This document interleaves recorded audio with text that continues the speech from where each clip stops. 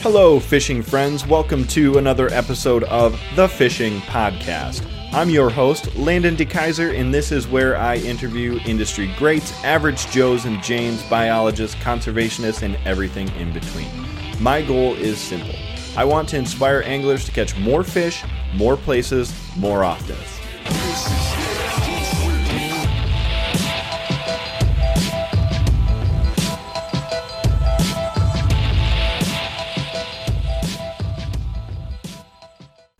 Welcome back, guys. Today I've got another exciting episode for you.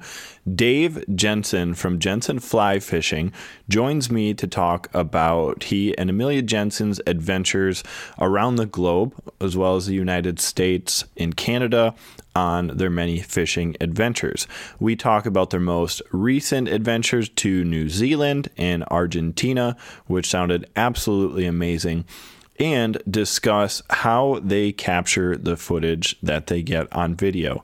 So, if you have never seen their videos before, I highly recommend that you check out Jensen Fly Fishing on Instagram.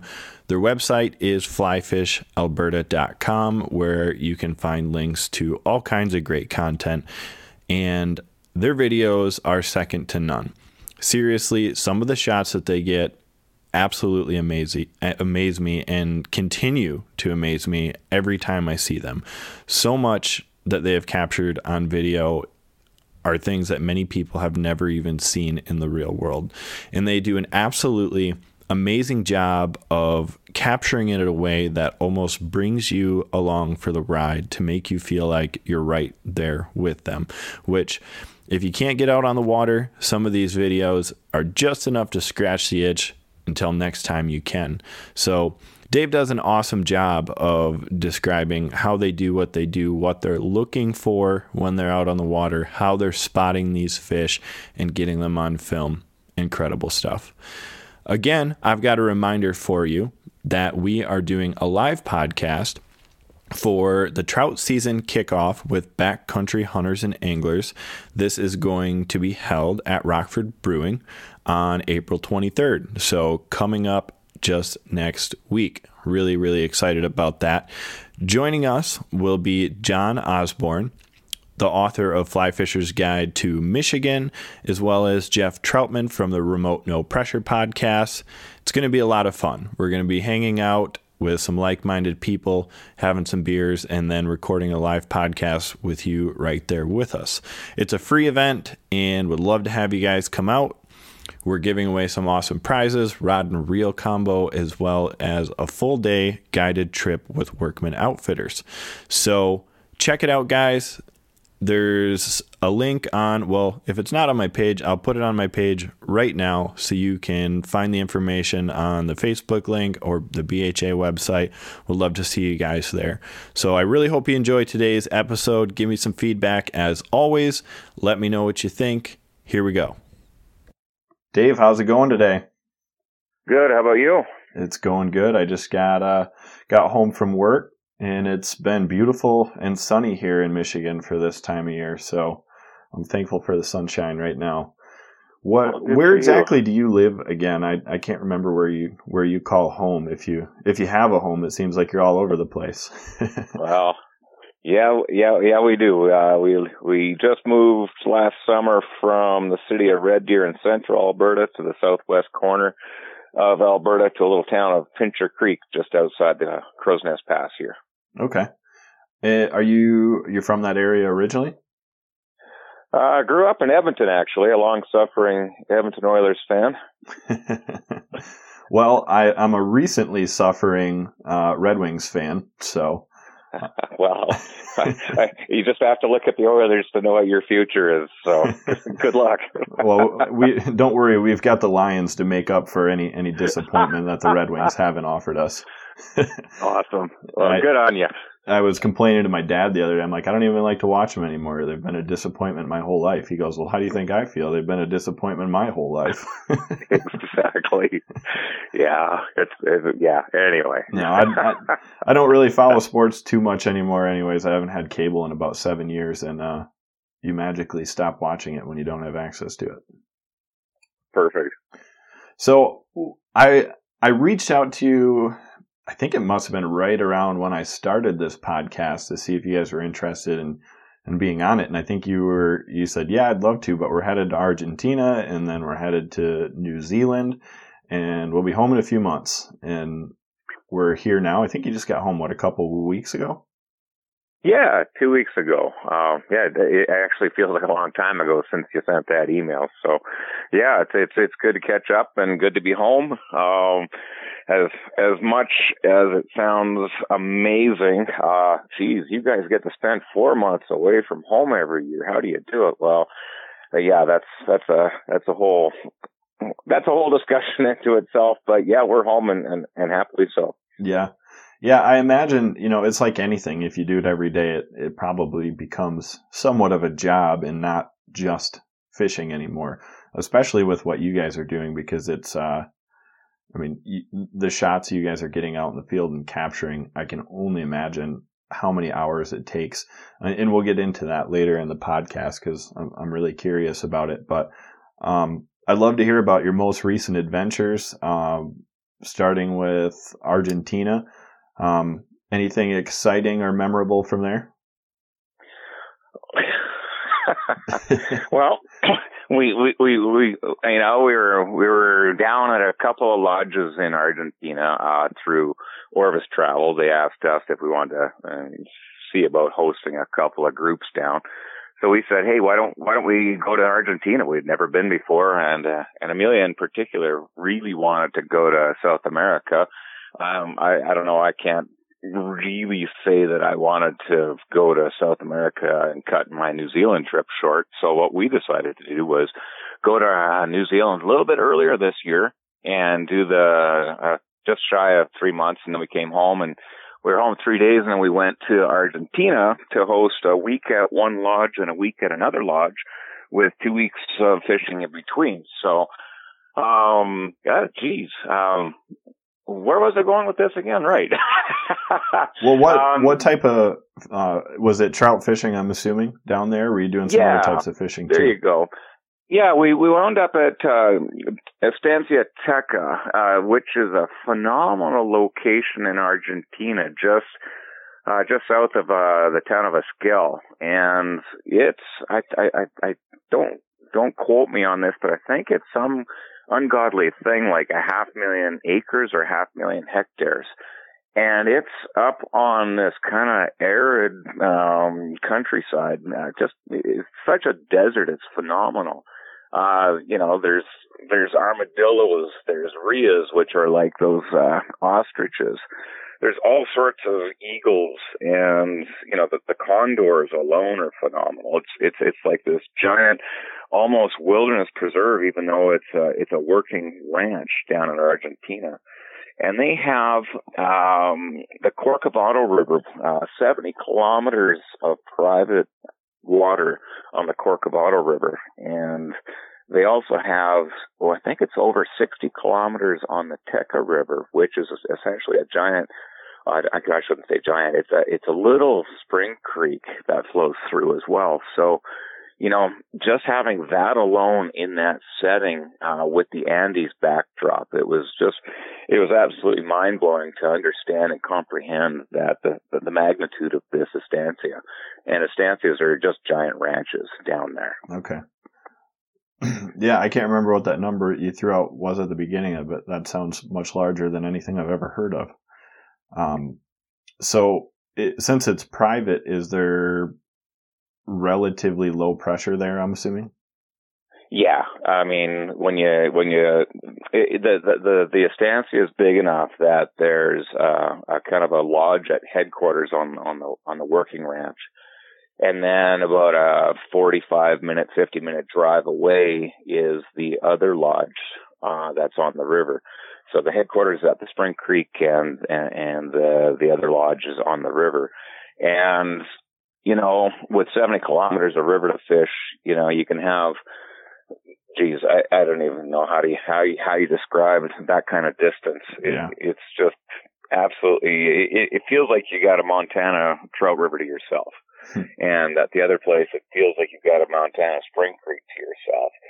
And, you know, on the Spring Creek, you know, if you know what you're doing and the fish are firing, it's you know, you're going to get 50, 100 fish a day, and they're going to be anywhere from your classic little six, eight inches, of course, all the way up to two footers. But most of the fish are kind of in that 10 to 19 inch range, rainbows and browns. Okay. And a lot of terrestrial activity, a lot of, you know, great foam meets, but also some, a lot of sight fishing mm-hmm. uh, to these fish. Just phenomenal uh, New Zealand style sight fishing uh, on the Spring Creek and in the bigger river at the other lodge as well. Hmm. Do they have? Uh, is it just rainbows and browns there? Do they have brook trout or any other species? Um, yeah, there are brookies. Um, and, and if I sound like that's kind of a passing comment, uh, we used to own a lodge up at Fortress Lake in BC for 10 years that had giant brookies in it. So, uh, we, you know, we caught a lot of brookies in our time. So, uh, the, the, the sight fishing for the browns and the rainbows was pretty much where it was at for us, but definitely, uh, they, they get some big brookies that come out of the lake, uh, in the, in the fall there and you know, you know, four, five, seven pound brookies dropping out of the lake lake to, on their pre spawn. So there's there's that as well. Yeah, that would be. Uh, I I have a life goal to catch a 20 inch brook trout, but in the state of Michigan, which it, there's places you can do it, but nowhere close to where I live. Um, and even and even that is a, a pretty rare opportunity. Um, so catching something in that seven pound range would be almost unheard of here, which is strange because it's our only native trout, if you if you want to call them a, t- a trout. Um, but they have you know very very few rivers that that have the large fish. Um, we call them coasters here, uh, and yeah. they go out in the big lake and, and come back up into the rivers, but um, not many of those left. So yeah, I, I don't know. I mean, when it comes to that kind of stuff, my the my thoughts are always, what's the value? I mean, size is size, but you know, do you really value size if you parachute into a location where the big fish are? Right. And you know, you look at a place like uh, Strobel Lake down in, in, in Argentina there with those, you know, Jurassic Lake with the 20 pound rainbows. And you go, hey, that, that's great.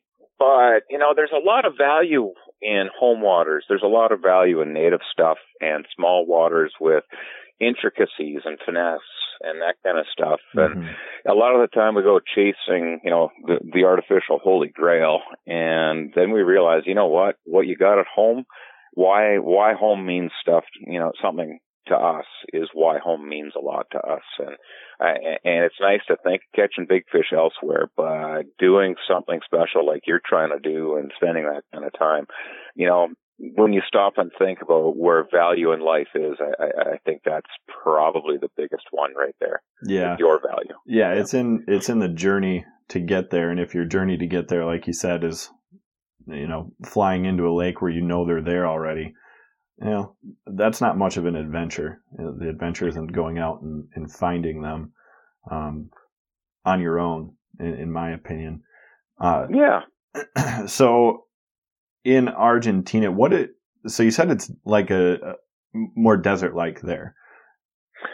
Where we were at uh, at Tecka, yeah, it was it was absolutely essentially it's the it's the age old thing where the, the the weather fronts come off the the coast and then they you know they they scream up through the Andes and they get forced against the mountains so all the all the rain falls on the on the Chile side and then basically on the Argentina side you get the the, the drier winds and mm-hmm. not a lot of precip by the time you're out uh, you know 10 15 miles east of the mountain ranges so that's why it's fairly dry arid with a lot of you know bunch grasses and pampas and that kind of stuff and you know, it, it, it's a really cool landscape to be a part of and see, you know, it, it, if you don't go prepared and you don't research all the things that all the all the birds and stuff that live there, you know, suddenly you look around and there's 40 condors circling overhead. You go, wait a second, and you know, you, see these rheas, ostrich-looking things, and it's just like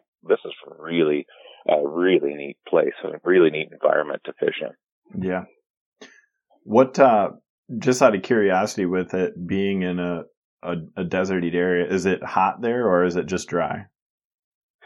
Um, it, it, again, it's like anything. You know, you get those, you get a cold low coming from uh, the south. and as it passes through, it's you know there's a com- couple days there where it was in the mid upper 40s Esquel, you know, and low teens uh, Celsius, that kind of stuff. But then uh, the rest of the the rest of the first week, I think it was about 30 Celsius, which is you know mid 80s to 90s. Okay, that, that's quite a range. Yeah, it really was. I mean, when we arrived in Buenos Aires, I think it was 39 Celsius, which I think is just over 100. And being right on the coast, you you, you know what 100 you know mm-hmm. Fahrenheit mm-hmm. with 100% humidity feels oh like. my god! So, yeah, yeah, but that's right across the country too. So so I, I, it really does vary. I mean, it, it's again, you got to realize that when you look at a map, and you know it, where we were just butted up against Chile, there, the border, and the Andes are right there. Uh, it's not a far, it's not a far distance to the to the coast, and you know you get those southerlies coming through off the southern southern ocean there, and it it rolls through. It's gonna it's gonna cool you off pretty quick. Yeah. Do the river temperatures stay fairly stable there? Yeah, I mean, uh, uh, wise, they again the one was a spring creek, and the other one came out of a lake which is fed by a glacier. So I mean, it, crystal clear water and cool water as well. And on the other end of the spectrum, uh, we were over at Carrileufu Lodge, and they had, you know, it's essentially one, uh, it, it's one river system that goes through River Lake, River Lake, River Lake, all the way through with a couple of springs and a couple of smaller tributaries. But up there, it's, um, um, they, they, they're just butted up against the Andes and all the coihue and, and, and cedar trees. So there's a lot of thermal regulation between, between the lakes and, and the forests. So really neat difference, um, between the two regions. Okay. That sounds, uh, sounds like an amazing place. I I have never really looked into Argentina much um, in terms of you know what it looked like, what fishing opportunities were there at all. So it's amazing. You know, it, it seems like trout are almost everywhere in the world these days. Um, you're always hearing of some new great place to to go have an adventure. Now, New Zealand, on the other hand, I think most people that have spent any time watching videos online of, of trout fishing or reading about trout fishing have probably heard about the spectacular fishing of New Zealand. Um, is it is it amazing as people make it sound? Because you know you get on the internet and it's like, oh, there's just huge fish everywhere and they're easy to catch and it's just great. But in my experience, when you hear stories like that, they're not always completely true. well, yeah, I mean, we could go a whole bunch of different directions with that kind of conversation. Just because, um, okay, every you know, everybody on Instagram loves a hero shot. Okay, well, there, there's the big brown. Yeah, I got that. I, I wanted that shot for my, you know, for my desk, for my wall, for my Instagram feed. But what goes behind that fish? Um, you know, I, I, I guess it, I look at it a little bit differently. Um, if you look at a trout stream, there's only so many pounds per mile of uh, of biomass tied into uh, uh, the the trout portion of that ecosystem. And if you go, you know what? There's thirty there's thirty pounds of uh, of of trout available in in in a in a trout stream in Alberta or Montana or Michigan. Guess what? That number is actually pretty dang similar in New Zealand. Okay. And what happen? You know, what happens there is you get, uh, you know, you get the winter and spring flooding, and that flushes a lot of the the the, the young of the year or the the, the fry emergence out in a, in a in a lot of cases. And you know, you so you end up flushing a lot of fish out of the tributary streams, and and whether or not they live or not, you know, is almost irrelevant to a lot of the the, the trout streams that most people fish. Um, so what happens after the, the big flush is you get a lower trout population. And so you, you go, okay, so there's not as many fish. And as those fish grow up, they start to definitely get sensitive to thermal barriers. And I bring that up because a lot of times, um, you know, in your first, second, third, fourth order tributary streams, the water temperature, uh, as the water lowers by Christmas and just after New Year, uh, the water temperatures are pretty high because the water um, levels get pretty low. Um, because you, you start getting to summer drought and that pushes fish out. And you go, okay, well that's, that's good to know. And now you're starting to look at three, four, five, six fish per mile. And well, there's only those exact three, four, five, six per mile. And those fish are going to stay in a couple of prime pools through the rest of the season. And they're going to basically have an exhaustive food source that they have exclusive rights to. And guess what's going to happen? They're going to get big. Okay. Now, if that stream gets popular and it gets pounded, guess what's going to happen? That fish that I'm going for today or you're going for three days from now, well, suddenly that's a harder fish to catch because we're, we're all bashing it on the heads with our flies. And if we time it right after a fresh where there's a little bit of water flowing and, and, and you get guys, I don't know, like, like myself or some decent guides or longtime fly fishers, they're going to play the cycles and guess what? We're going to catch fish. Uh, you get a tourist fisherman go there and, and peak of summer and the peak of drought and you're trying to poke around these places and, well, geez, these are really tough fish to catch. Well, yeah um, wrong, wrong time, wrong location. Um, if you, if you have the time to research a few things before you go to New Zealand, you know, you can really roll with the weather, play the cycles, but that takes a lot of commitment and a lot of knowledge and a lot of talking to people and a lot of experience. And yeah, and to be honest with you, New Zealand fly fishing isn't that hard it's knowing the weather cycles and, and, and the fish movement cycles and that kind of stuff and, and where to go when. That's where things start to cross over. And, you know, I'm, you know, Amelia and I might go there and we might get, have 10 to 40 fish days in some cases. Um, a lot of tourist anglers will go and have one or two fish days on their own. And that's exactly why we always tell people, whatever you do, if you're going to spend the money and take the time to go to New Zealand, hire a guide for at least two days yeah. um, to set you up and, and, give you a heads up. It's no lie. Um, it's not an industry driven thing. It's uh, you know what? You're taking this much time out of your life to go somewhere. Why don't you Why don't you do yourself a favor and do the best by yourself and, and, and plan to do that? Yeah, absolutely. I would. I would never self guiding is is cool and and yeah maybe it's a little bit more rewarding but if I was going to plan a big trip like that, I can guarantee at least, like you said, a couple days, you know, to learn, learn the water and, and how the fish act. And I guess that's another good question. Do the, the trout act any differently over there than say they do here in the U.S.? Um, I'm going to say absolutely not, but I'm going to give you one caveat, and that's mouse ear fish. And for anybody that's listening that doesn't understand what the heck a mouse ear fish is, is um, they have beech forests in New Zealand, right along the, the Alps of the southern southern island, and every four or five years, um, eh, eh, the the beech trees will mast and what that means is basically they'll just produce a, a, a, heavy crop of seeds per tree. And when those seeds open up and fall to the forest floor, the mouse population explodes on the forest floor. And when you walk 50 yards from your truck to the river and you see 35, 40 mice in broad daylight, you've got a lot of mice. Yeah, and those, no are, yeah, you yeah, you eventually find your yourself going, hmm, mid late November into December, and suddenly you're catching rugby ball shaped brown trout in the in the rivers.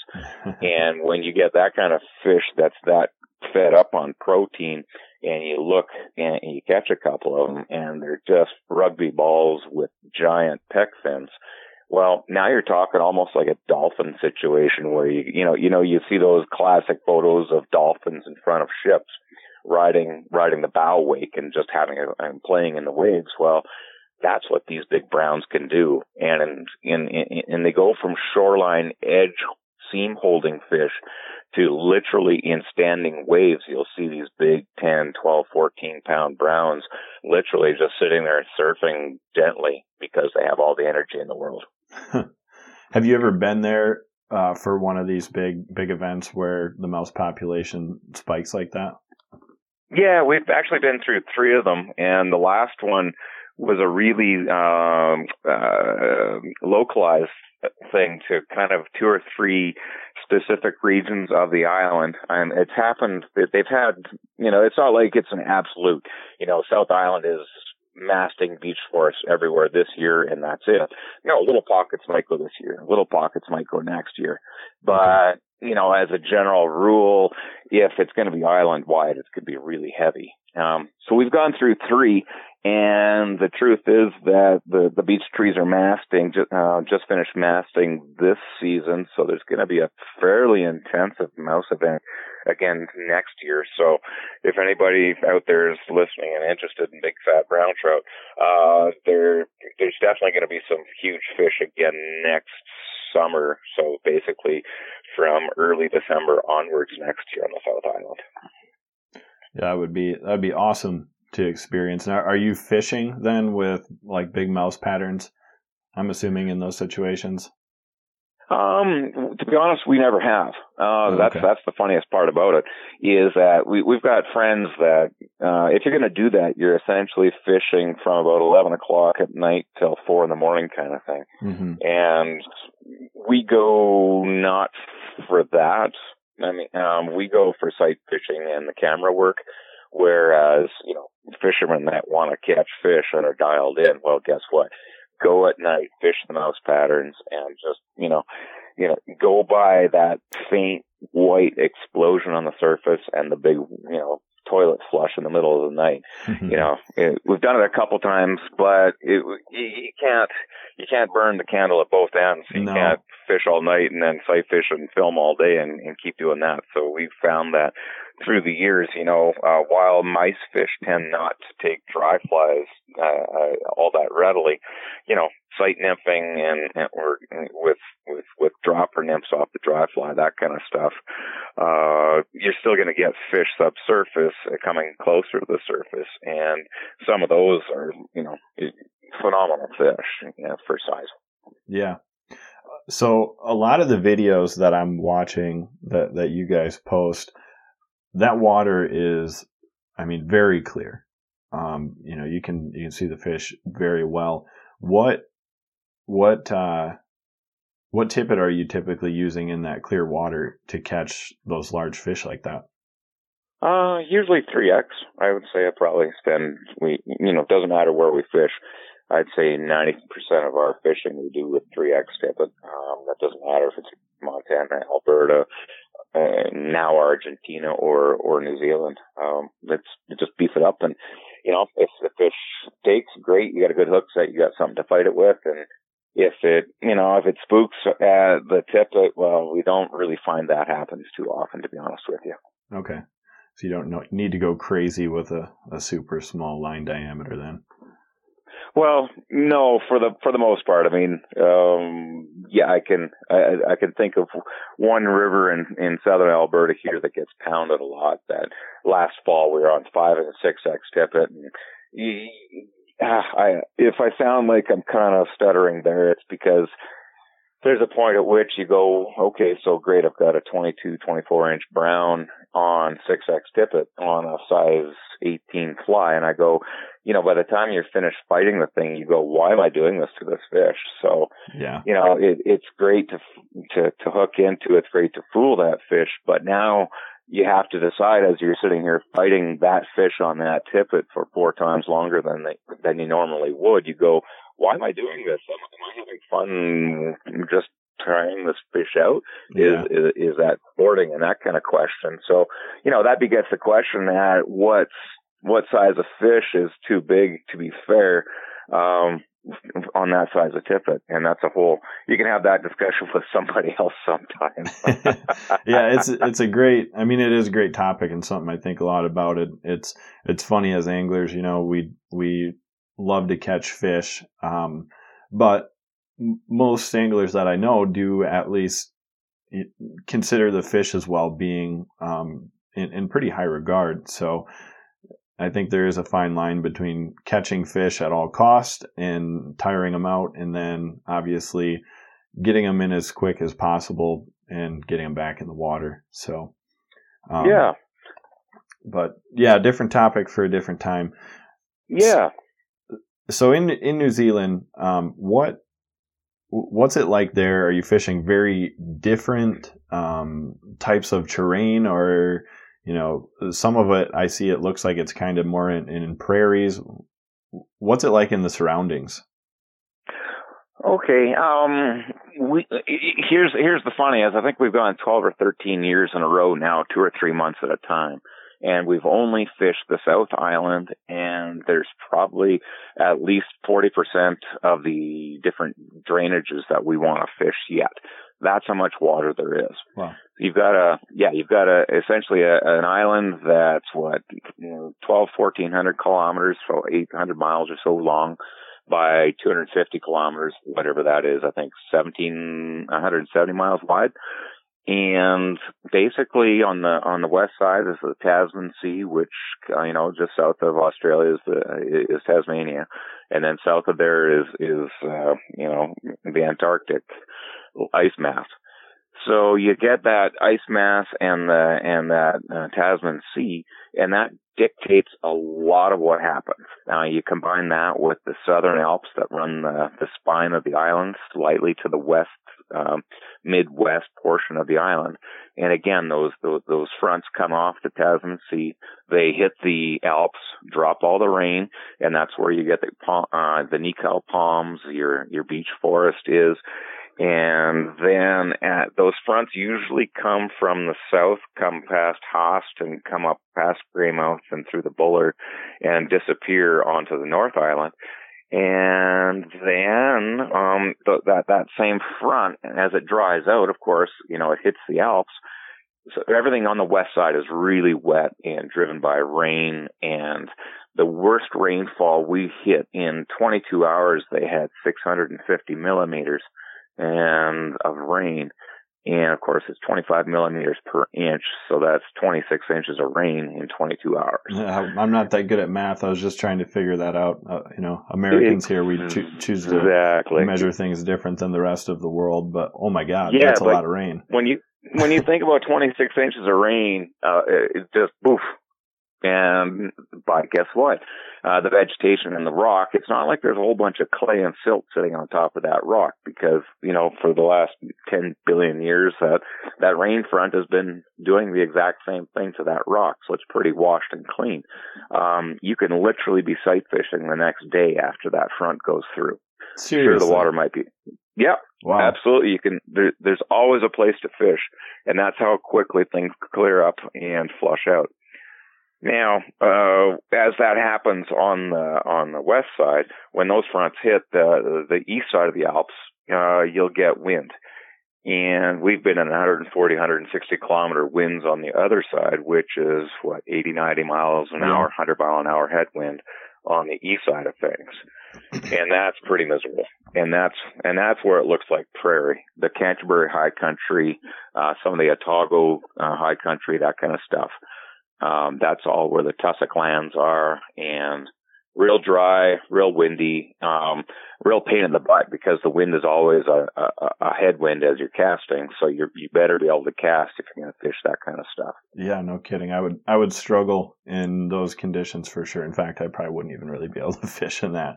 Um, so I want to get into some of the filming and talk about that. Uh, how, but let instead of starting with what you're doing today, let's let's rewind to you know when did you start filming? How did you get into it? Was it a hobby at first, or you know, did you guys go to school for it, or what's the story? Um, the story, um, jeepers. Uh, the the best way I can describe the the backstory to is um well, we used to. I, I, I should really start by saying I grew up with with almost not not a penny in our in our family's name, and that really begat necessity. And as we, you know, as I started to guide fly fishing, I, I started fish fly fishing when I was just before I turned five years old, and always loved it. Always found a way to do it. Never never had anything fancy it was literally a $59 rod and reel combo with a, with, with a pair of shorts and a, and a pair of shoes. and let's just go fishing. Mm-hmm. So once you once you understand that, and, and and then you say, well, I started guiding fly fishing after a short-lived forestry career. You understand there wasn't a lot of money, so we did we did ten years of guiding before we we we bought um, uh, a, a lodge with a business partner. Um, I put up in BC here, and really what happened there was we said, you know what, we can uh, we can pay somebody else to come in and, and do all this filming, or we can kind of, you know, through the years we we we've done a bunch of photography and that kind of stuff, and always loved the idea of filming. So when we were doing guiding just before we, we bought the lodge, we were starting to play around with, with video. This would have been, I don't know, 16, 17 years back that we started. And it was just a, it was just a necessity thing. You know, the, the internet was coming and, and we wanted to stay ahead of the game and the curve on being seen, being found for business purposes. And we just rolled that into the guide, uh, from the guide thing to, to the lodge thing, and that's when we just started sharing video.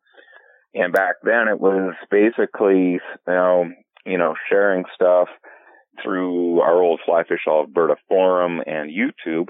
And there, there wasn't Facebook, there wasn't Instagram, there wasn't all that stuff. So we never were really in on that, but we were basically just shooting video to, to promote on online the best we could reach, um, just that way. And through the years, you know, then you started going to New Zealand and it just got to be more and more of an interest to try to get in position to, to, to, to shoot the shots.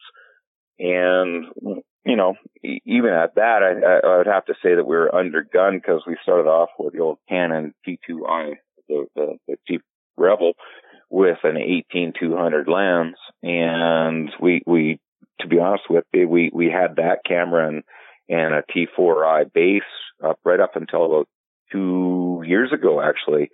Um, and, and we just did the best we could with that. And, you know, when you, when you have a 200 mil zoom lens, it forces you, you know, you think, well, that's, that's not too bad. You you can zoom in pretty good, but it wasn't what we wanted to do. Uh, so it really forced us to work on our approach to get, you know, sometimes half a rod length away from fish hiding in bush and behind grasses to get them yeah, and to get into the shot. And then when we started seeing that Panasonic was coming out with this uh, Lumix GH5, we thought, you know what? Why don't we buy something like that that gives you 180 frames per second? Why don't we get ourselves a set of, um, you know, lenses that'll do? And the, uh, I'm going off on a tangent here, but uh, that's, no, that's fine because I was, it, I was going to ask you what gear you guys were using to get yeah. these shots anyway. So you're covering my questions. Yeah, we, yeah. So we, we jumped. I'll jump ahead there, I guess. Then you know, we as soon as we got the GH5 in our hands, it was like, okay, we've been we've been way behind the the, the scenes and technology wise, and we realized as soon as we got it, what we got. And that's, you know, we went out and bought a, you know, just a it, it's just a run of the mill Olympus uh, 75 300 mil uh, zoom lens, but with micro four, four thirds, it doubles your focal length, so you end up with a 150 to 600 mil lens. And because we spent the last 10 years prior to that with a with a pretty, you know, 200 mils isn't a lot. So we spent 10 years trying to weasel our way and sneak our way up on fish with that lens. Well, suddenly we've got three times the lens. Um, when you go from one lens to three times magnification, you go, holy cow, look at what we're getting because yeah. we have taken the time to, to temper ourselves and, and get into position and, and really focus on the approach for this stuff. And suddenly with 180 frames per second, standing as close as we are, knowing the game and knowing how long it takes, well, it wasn't long before it was just boom, boom, boom. And, you know, it's to the point now we go out fishing and you know we'll we'll come back with 20 30 different fish that we snuck up on shooting footage so you can appreciate fishing you know nowadays 200 to 275 days a year how many fish we actually have in our in our little catalog? Yeah i mean it seems like you i follow you on instagram and it's just the shots are incredible that you guys are getting. And, and granted there's a lot of people out there that have some great video but the the close-ups and you know how zoomed in you are on these fish that are taking these flies is just, I mean, so captivating to watch. Anybody that trout fishes at all, it, it would be hard pressed to scroll past one of your videos without watching it a couple times. I think so. When when you're out there and you're fishing with a camera, I mean that's got to create a lot of extra challenges. I imagine. Um, is there a lot of is there a lot of times when you're fishing and you end up blowing opportunities because you're trying to get the shot? Um, hmm. Um, I, I would have to say it like this. I, I think what, what, what, what's unique in, in where we're at is that we've gone, you know, because, uh, what am I going to be 47 this summer? When you start fly fishing when you're not quite five, I guess I'm 42 years of doing it. And I, I don't, I, yeah, I'm not in a place where, oh no, I have to catch that fish. I'm yeah. not in a place where that uh, my life and you know, it's going to be life and death if I don't catch that fish. Um, it's it's a place where whoever, whichever one of us is on the rod, whichever one of us is on the camera, that's our time, and we'll take turns. You take two fish, I take two fish um, on each. And what what happens is that allows us each to have a rhythm, and it allows us each to get full satisfaction out of that fish. So if that means that I'm on the rod and Amelia's set up with the camera on a, on a fish, and uh, it's okay. Well, you do your thing. I mean, what do you want to see? What do you want to capture on the camera with that of that fish or that scene? Or hey, wait, what if that fish has done some really cool things, rising to mayflies lifting off the surface, but it hasn't done it in the last couple minutes? Uh, you know what? It, it, the, where's the value? And if we, as husband and wife say, you know, that value is on the camera right now. And you know what? You're on the camera. Do what you want to do until you think you've captured what you want to capture. And the backside of that is, um, do it for yourself because you love doing it. And when we go to share it, we're sharing it because we know that you, the viewer, aren't on the water right now. We know that you, you know, you want to be there. You live for those moments. So that's why we're sharing this stuff is because we know that people love this stuff. People don't care if we catch fish. People don't care that I caught a fish. I mean, to be honest with you, you don't care that I caught a fish. You want to see that that opportunity exists. You want to escape into a moment for a minute from whatever the heck you're doing you know, we, we've had a lot of people that are housebound um, because of illness. We've got senior citizens. We've got people stuck in office buildings or at their job or their family and kids vacation supersedes their fly fishing. You, you name it. There's a million different reasons why people can't go fishing. And people don't care, care if I catch a fish and show off a photo of a 10 pound brown. People want to live through that lens and see the opportunity. They want to see the magic. And that's why we share this stuff is because people can't all the time. Somewhere in the world, I guarantee you there's a million people that wish they were on the water and they can't be. And, and, and that's why we do it. So you, you dial, you go, you go through it all and you realize, hey, there's this couple just going out fishing with a camera, literally a camera in their hand. And, you know, we don't make a lot of money, but we do it because we want to be on the water. Our value is on the camera, but also on the rod because, you know, don't kid yourself. We still want to catch a fish. Right. Um, but that's why in a lot of videos it goes from the fish doing what it's doing to okay, here comes a fly into the scene and the hook up and the splash, splash, splash. We try. I try deliberately not to show me. I try, you know, Amelia deliberately in the edits tries not to show her. There, there's no point in showing us because it's you in the scene with us is, is the whole point. It, it's always an open invitation so does does the camera screw up some fishing? Oh, you bet. I mean, if if you were only absorbed and obsessed with catching fish, don't even don't even begin to to film. But if you see value beyond yourself to the larger world that we live in, um, and, and, the people that value these kinds of things and want to connect with those people and, and share something of yourself and of the world and this beautiful thing called trout fishing, then yeah, um, definitely get a camera. But let me tell you, it takes a lot of time away from the fishing. But you also get to the place where you go, uh, if you heard what I, heard, I said earlier in the conversation, we'll come off the river with 10 to 30 of these fish engaged on camera. And you know what? In, in a day, that's phenomenal. And, and if we weren't filming, maybe we catch a whole bunch more fish. But what's the true value at the end of the day? Is it because I caught a lot of fish?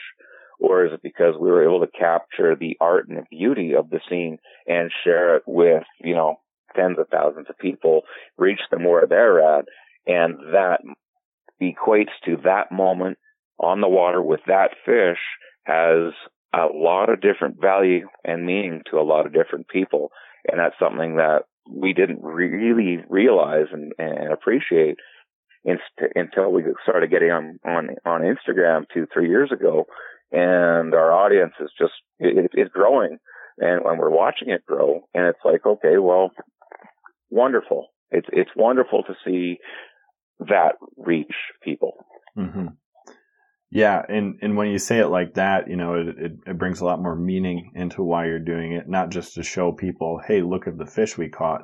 Um, and and I guess I connect with with the the thinking behind that because when I watch those videos, you know, you are imagining yourself in that scenario. You're seeing that fish fighting, and and for a moment you are there, you know and yeah. that's that's great. It takes you out of whatever you're doing for the day. That isn't probably as enjoyable if you're if you're really into fishing and would rather be doing that. So it's it's awesome stuff for sure. Now, um, how close are you usually getting in these shots? Because I know there's a zoom lens, obviously, but typically when you're you're getting these, what's what's kind of the range of distance that the camera person might be at? Mm, we we fish uh, quite a bit differently as well. Um, so th- that's kind of a wound up thing. I'll give you the direct answer. How close are we typically? Um, about a rod length and a half from the rod tip, so about two and a half rod, three rod lengths from the fish, 27 feet, something like that. Oh, 25, really close.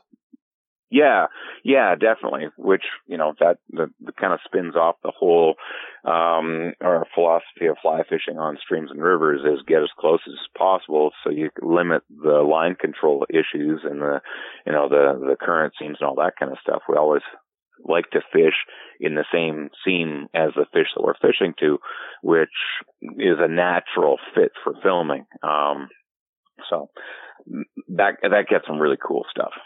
Yeah.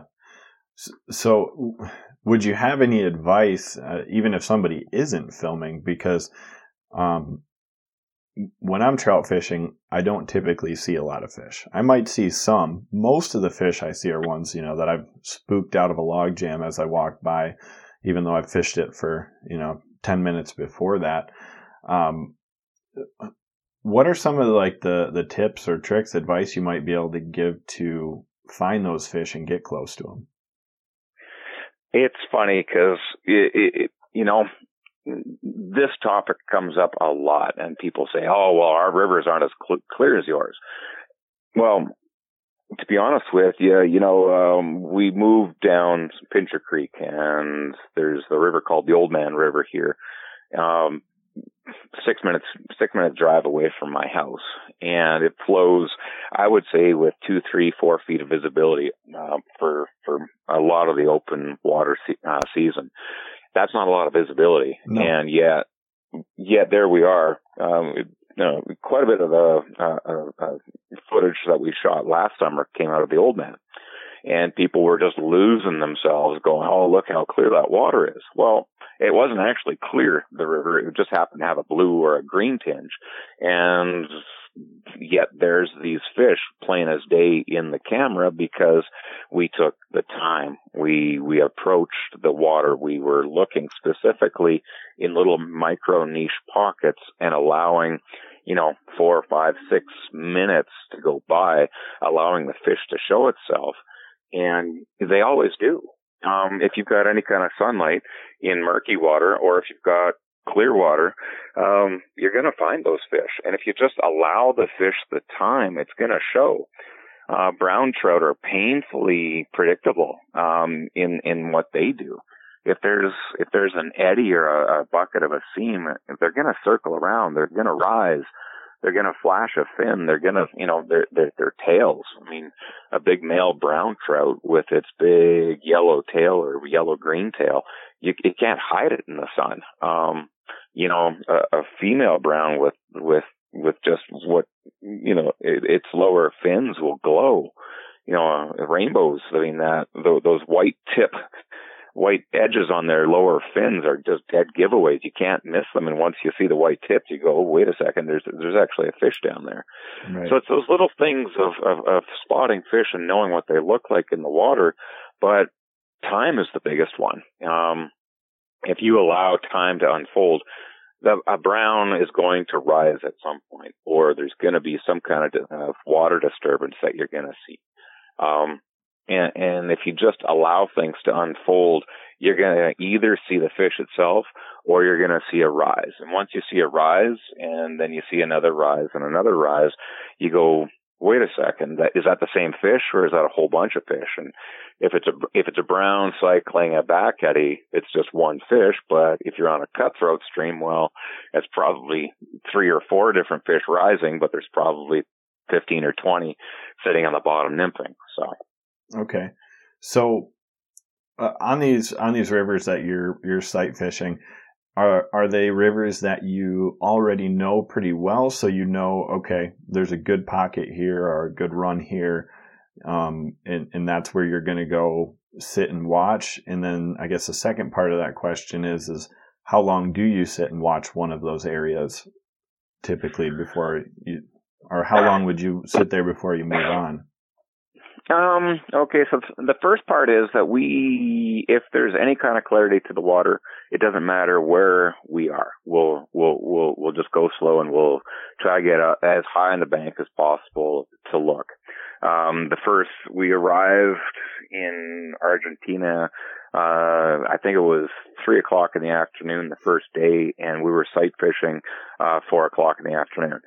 Um, because there was some kind of clarity in the water. So guess what? Um, why wouldn't you look for fish? Um, and, and I would say we cover off a hundred yards of water in probably, I don't know, if, if, if nothing is happening and we're just doing our methodical look and wait and uh, probably 20 minutes, half an hour per hundred yards of fishy water. Okay. And I mean, that's, that's still moving along. you know, at a, well, it, it, depends. I mean, if you're just slowly walking and you're you're, you're just looking, you're either going to see it or you're not, and it's going to show itself. And if it's active, it's going to show. I mean, a half hour for a 100 yards.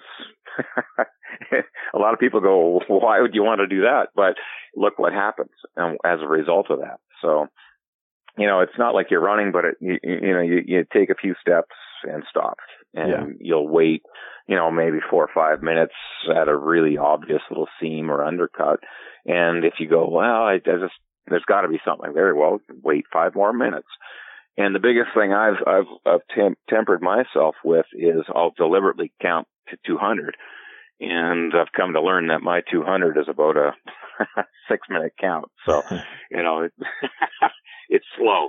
And, but you force yourself to do that. And it's a little obsessive, but you force yourself to do that because if you don't c- create a habit, you don't go back to your foundation of allowing time. And, you know, fly, fly fishing is like anything. If you don't have foundations, uh, and some, something that you, that, that is yours, that you do, your, your habit, and, and you break those things and, and you, and you go against them, the, the results won't be consistent. So it's all about consistency and just allowing things to unfold. Yeah. Yeah, I wasn't sure, you know, were you sitting at a, a good obvious area for a half hour at a time or, or how long you were giving each spot, but, um, well, I, I wouldn't say that. I mean, if it's a good, if it's a great spot, uh, finding a fish is one thing. I mean, you're always on the hunt for finding either a rising, um, snout or finding a, an actual fish in the water. Um, you know, you're not going to give 15 minutes in that one spot. You mean, it might be five, ten minutes and then you slowly ebb upstream or finding different water and you go to the next spot and you're giving it five or ten minutes and you just slowly methodically work your way. But once you find a fish and you and you, you, you I guess once you find a fish and you're you're on the camera and again getting back to that value thing each person having their value doesn't matter who's on which uh camera and rod now it's a game of and this is what we do. We say hey, you know what? There's a great fish but are you going to be able to get the fish on camera or do you want to shoot a scenic and then, of course, you say, well, the scenic it looks really gorgeous, man. It's a great scene with you casting and filming. But to be honest with you, we cushion a lot of that because we we actually don't share a lot of the scenic stuff because if we the conundrum when you go to share a scenic scene of a gorgeous fish online on Instagram is you're going to get you know 20 people going, Oh, that's there. I have to go there because look at the fish you're catching. Mm-hmm. And we try to dispel the hot spotting because we don't want people thinking that it's because that stream is awesome. No, you can do this stuff on every piece of water out there if you have an imagination and take the time. That's the point. The point isn't that River X is awesome. It's that this, this, this engagement, this, uh, looking for fish, this style of fishing, head hunting, hatch chasing, that's where the value is. It's not in going to River X. It's uh, learning these other techniques so that you can enjoy and engage the way we do so that you can enjoy that stuff. Yeah. And again, you know, it's not River X. It's about sharing the art and the value of the video that we capture to reach people. yeah, that um, yeah, the whole spot thing is is interesting to see how people react online. Everybody knows where it's at or has something good or bad to say about it as soon as you you know have a tree that's recognizable or something. Yeah. It, um, yeah, I, I, I do tend to laugh at that just because you know, like the Bow River here in Calgary, a lot of people are just you know everybody is so protective about micro locations mm-hmm. and and and well why? You know there's fish. If you if if i had a raised bank on the bow river uh downstream of calgary and i've got 50 yards of raised bank and a, and a bit of sun i'm the only one on the river sight fishing while everybody else is floating by pounding streamers or nymphing which is great don't get me wrong. My value is different so I'm just going to take 50 yards of that and I'm going to find two, three, four fish before I hop back in the boat, float down. So what I'm trying to say is my style versus the next person's style from the next person's style are different. So why on earth do we get on the internet and chase another man's or woman's magic when magic is just sitting there waiting for us to go and discover in our time, in our way? To what we enjoy for our value instead of worrying about what the next person's doing. Yeah. Yeah, I think people get a little bit too worried sometimes about that stuff. I mean, it, admittedly, I do at times as well. But um, another question that I had when you're sight fishing is it typically in more open areas, uh, or do you do it in heavily wooded areas as well? Depends on the day. Um, if it's a bright sunny day, the last thing you really want to do is get yourself under a forest canopy because you got all those shadow lines. So basically you go from uh, a, a sunbeam to glare, a sunbeam to glare, and that makes it really tough. But at the same time, you put, go on that same piece of forested water on a cloudy day and now you see absolutely everything. So that, you know, if it's a bright sunny day, yeah, definitely more open, but on a cloudy day, you, you need a bush back, backdrop. Okay. Uh, and then is it, uh, is it possible to do this early in the morning or do you kind of have to wait for the sun to come up to where you can at least see a little bit? Well, really, it's the same answer. Um, if you have a bush backdrop when in low light, you're going to see fish. Um, you can do it morning, any, any, time of the day, really. It's just, you know, if there's shadows or filtered light or no, low light, basically, as soon as that, that, those are the situations that cause a lot of glare on the water. So you're staring at silver. But if you can get yourself a bush backdrop, it's like looking into kind of a dark uh, glass of water, you'll mm-hmm. see the fish plain as day. Uh, something you had mentioned earlier is that trout are predictable and, and you know they, they will repeat the same patterns. Um, and you're talking about fish rising. Do you? I mean, do you see trout rise in scenarios when there aren't bug hatches going on? Do they just you know kind of come out and play sometimes, or is it really only when those hatches are are happening? Um, opportunity always, you know, begets something. Um, and there are no absolutes, um, in, in, in any environment with yeah, any animal. So, yeah, exactly, right. And, and no animal subscribes to any kind of absolute. So, um, you know, we've, in New Zealand, we'll, we've actually filmed a lot of big browns eat leaves uh, and then spit them out. We've seen a lot of rainbows here in Alberta and in, in New Zealand and now Argentina eating empty nymphal cases in the, in the surface film. Hmm. Um, and, and you see that because you got a six, 700 mil lens, got 180 frames per second. You go, what the heck? was that thing eating?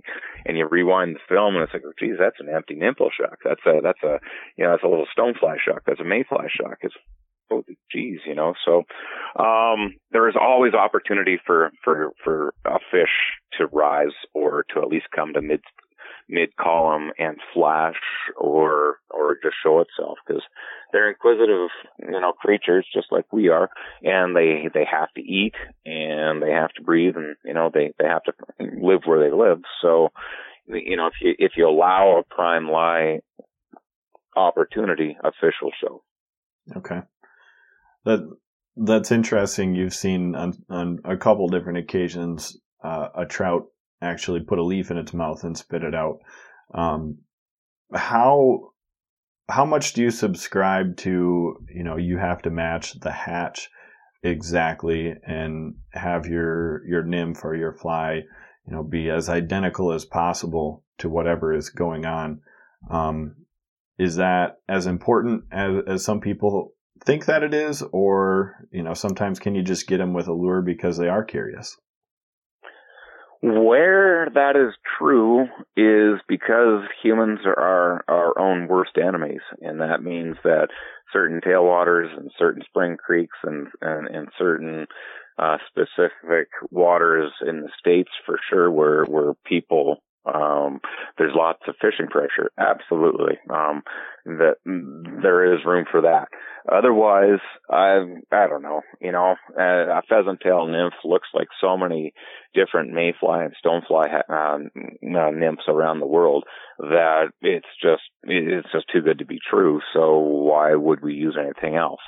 Um, you know, the exactness on a New Zealand backcountry, well, actually anywhere in New Zealand, I mean, the, the generalistic patterns used there and, and, and the fish feed on them because, well, that's, they have to.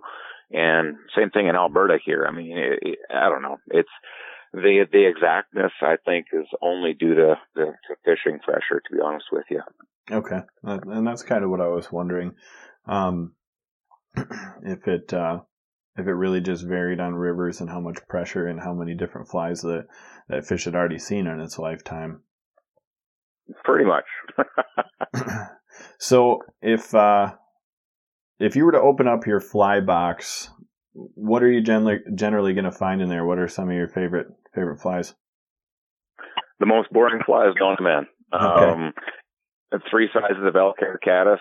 Um, another pattern is that instead of an elk wing, it's got a poly wing. Uh, as an elk hair caddis, it's a poly wing. Um, pheasant tail nymph, uh, you tie them how you tie them. I'll tie them how I tie them. It doesn't matter. Um, and from there, I don't know, a couple of black beetles, a couple of jeepers. Um, I don't know. I, it, it's hard to go past that because I'd say probably 80% of our fish are caught on those. Okay. I'm always just curious to see, you know, what other people are using.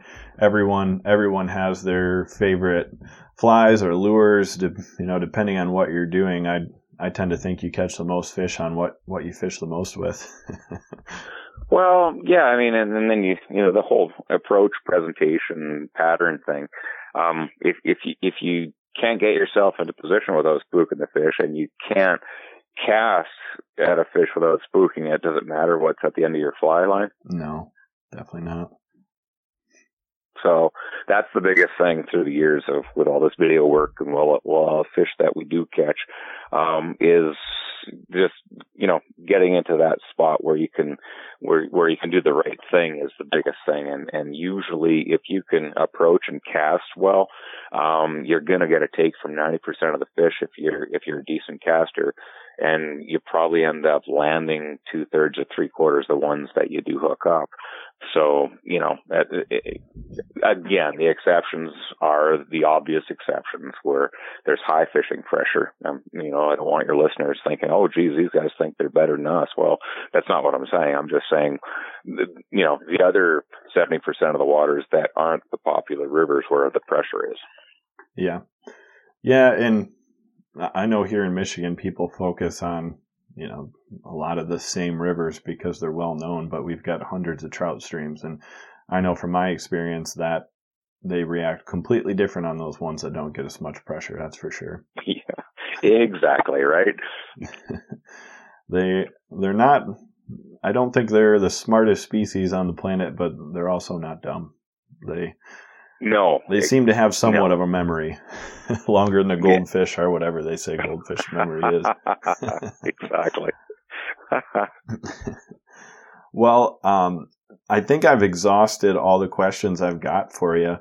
Uh, do you have anything cool or exciting coming up in, in the future here you want to tell people about? Um, Jeepers Creepers. Um, really, uh, we're, we're going to continue with our Orvis advanced tactics, how to, uh, got another 20 episodes that'll come online with Orvis this summer. We've got a couple of, uh, you know, we're going to be in Montana and Alberta this summer, spending most of our time fishing and filming and sharing. Um, we've got actually a whole backlog of videos that we've produced for various companies and the Alberta government, that kind of stuff that'll end up being on our YouTube and Instagram feed, that kind of stuff and and and and then from there it's basically well th- this might be the boring part of the whole thing but we just finished doing about a four day big five ten year life plan as it is at laying everything out with uh with with kind of where we're going with all this stuff. And and and, and a lot of that's pointing right at doing more uh production work. And one of the ones you'll see us take on for sure later this year is advanced uh, sight fishing tactics on on demand. Again, we've got uh, we've got the brown trout project as well as sight fishing trout rivers on demand at our website, and we're going to start producing a couple more on demand uh, kind of module or feature um, videos, um, and that'll start to come online here in the fall and through through next winter. Uh, just because we have so much footage, we've got we've got an audience that seems to you know want to to, to be engaged and learn a bunch more about fish behavior and, and how to interact with them. So those are the things that we're going to start focusing on and sharing and, and try to make your time on the water more enjoyable and, and try to try to highlight some of the different values as we're all engaged with fish. Yeah, well, I'll definitely be tuned into those and I'll be watching for sure. Um, to me, fishing is enjoyable pretty much because it's a never ending learning process. You know, just when you think you know something, you don't, and the next time you go out, you learn something completely new, and that's that's what I love about it. Um, have you ever fished in Michigan before? Have not. Never. Okay. No, just and, it would be amazing to get out there. You know, I uh, what's what's the fellow with a third year, first year fly fisher, third year fly fisher who does those the night of the hex those videos? Um, I honestly I am not sure, but I yeah. So I anyway yeah, some just phenomenal phenomenal footage. I forget. I I should know. So apologies there. No, that's that's okay. I uh I'm not familiar with all all the names in the industry, that's for sure. But yeah. uh, yeah, I I am planning to do some some hex fishing this summer for my first time. Um, I've heard a lot of amazing things about it, and I can't wait to get out there and, and give it a try. But uh, yeah, we've got a lot of rivers to fish here, and I think we Michigan actually had the first brown trout planted in it in the U.S. if I remember correctly. Um, okay. So we're we're proud of that and, and, proud of our fishery. We have a pretty diverse fishery for everything yes. outside of trout. But uh, yeah, if you ever get this way, let me know. I could at least point you in the right direction of some some awesome spots to check out. Which there's a lot of them. Would be great. Well, um, unless you've got anything else, I can let you get back to your evening. Uh, I really appreciate you being on.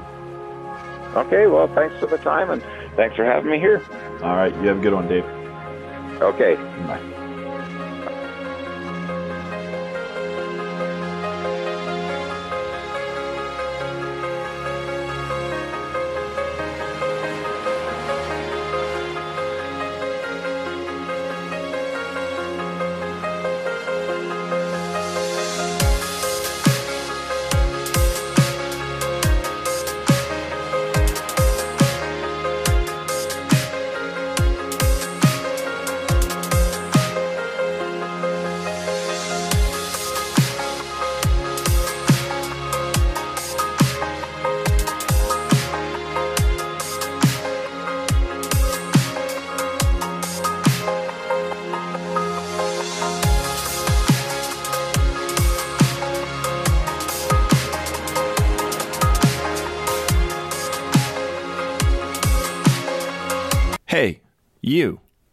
Yeah, I'm talking to you, the one that's still listening to my podcast.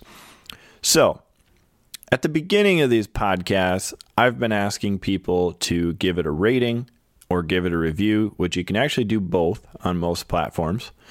And I've been thinking about it, and maybe the beginning of the episode isn't the best place to ask because I think about what I would do in that scenario and I think, yeah, sure, when this gets over, I'll give it a review end of the episode comes around and you never think about it again, right?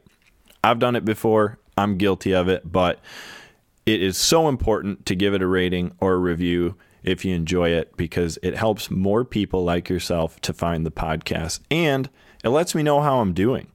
And that way I can keep the content relevant. And if it's not up to snuff, I can figure out how to do better. So if you could, pause the podcast right now. Here's your chance pause it, give it a review. Thanks so much, guys. Enjoy your day.